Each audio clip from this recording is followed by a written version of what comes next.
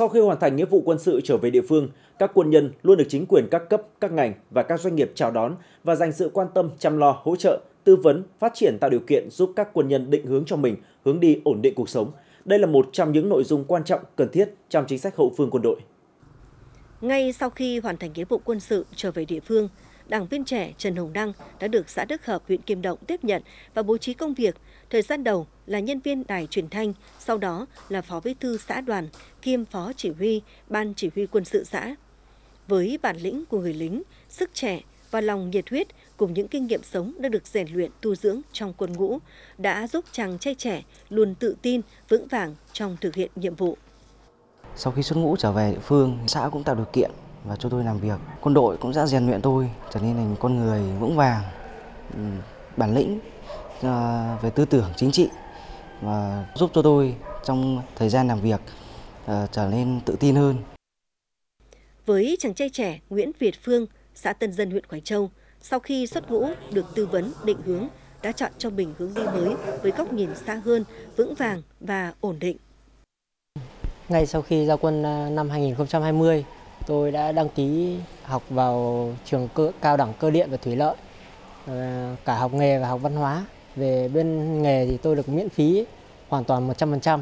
Mong muốn của tôi sau khi ờ, ra trường đó là có một ờ, nghề ổn định cùng với chính quyền các cấp các ngành, các doanh nghiệp trên địa bàn tỉnh cũng luôn sẵn sàng chào đón và dành sự quan tâm đặc biệt với các thanh niên đã hoàn thành nghĩa vụ quân sự. Thực tế, đã có rất nhiều các thanh niên được chào đón và làm việc ngay sau khi trở về địa phương.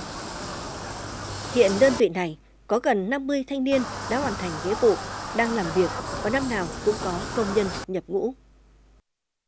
À, sau khi xuất ngũ vào công ty làm việc thì được sắp xếp công việc phù hợp, thu nhập ổn định và được hưởng các chế độ ký hợp đồng lao động đầy đủ và ngày 22 tháng 12 thì được gặp gỡ và được ờ, tặng quà. Cháu xuất ngũ từ năm 2019 ờ, về đây được ờ, đào tạo luôn nghề ở đây luôn.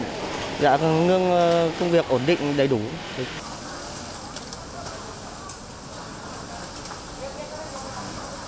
Công ty cổ phần Đay và May Hưng Yên chúng tôi uh, sẵn sàng tiếp nhận các đồng chí mà đã hoàn thành nghĩa vụ quân sự mà chưa có nghề thì công ty sẵn sàng tạo điều kiện hỗ trợ việc đào tạo miễn phí ờ, để các đồng chí có tay nghề sau đó là đưa vào truyền để sản xuất ạ.